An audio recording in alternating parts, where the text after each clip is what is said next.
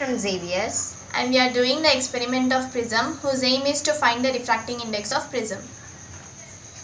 Materials required are a prism, some pins, pencil, protractor and a scale. The procedure we are going to follow is take a prism, place it on the white chart in such a way that its triangular base is on the white chart. Draw the outline of prism using a pencil.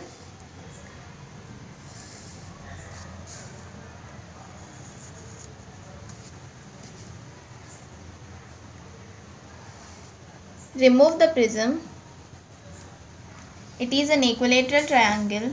Name its vertices as P, Q and R.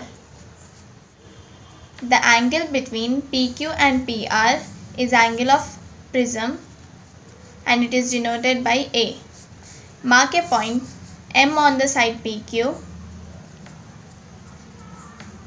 Draw a perpendicular to the, to the M using a protractor which is right angle.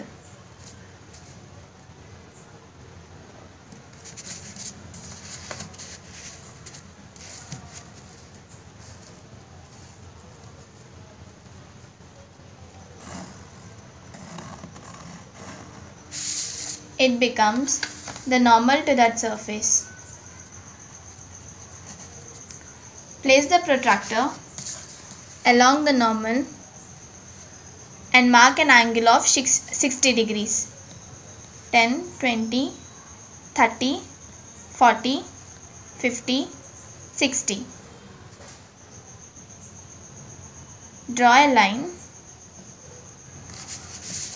up to M.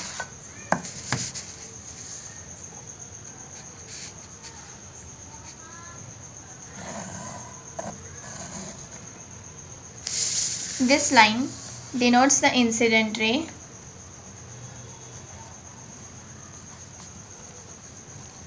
Draw a small arrow on it. Now the angle between normal and incident ray is angle of incidence which is denoted by I1. Fix two pins vertically on incident ray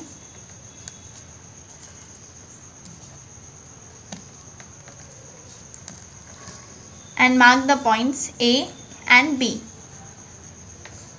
Place the prism again on its position. Now look for the images of pins.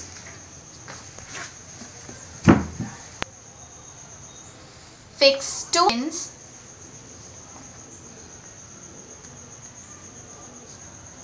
in such a way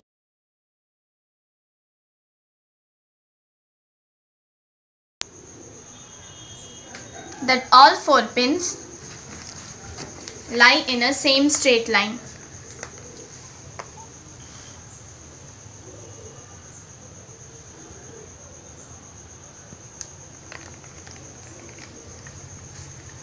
Remove the prism.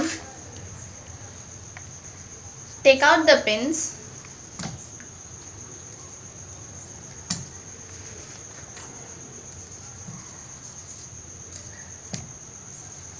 Draw a line joining the pinholes formed by the pins.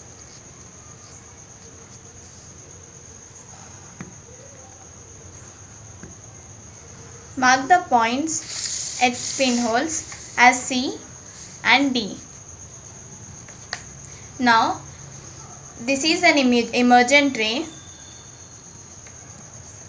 which emerges from surface PR at N. Place the protractor at N. Draw a perpendicular which is 90 degrees.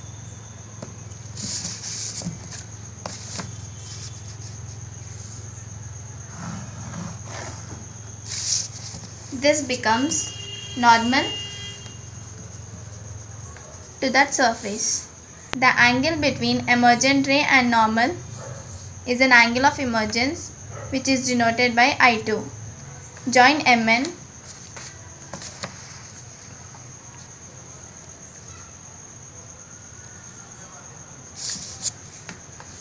which shows the path of light suffering through the prism. Now extend incident ray forward